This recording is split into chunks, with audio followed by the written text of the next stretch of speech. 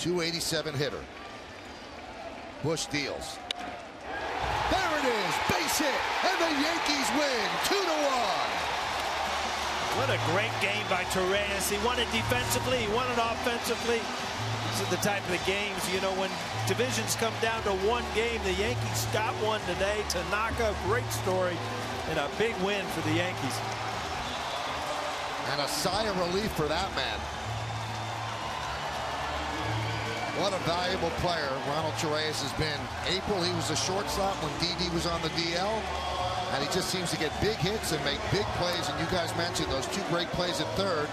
That's why we're in extra innings. Well, look at his reaction. I mean, you just love to see natural, just competitive people reacting. I mean, um, the, the second he hit that ball, he knew what it was.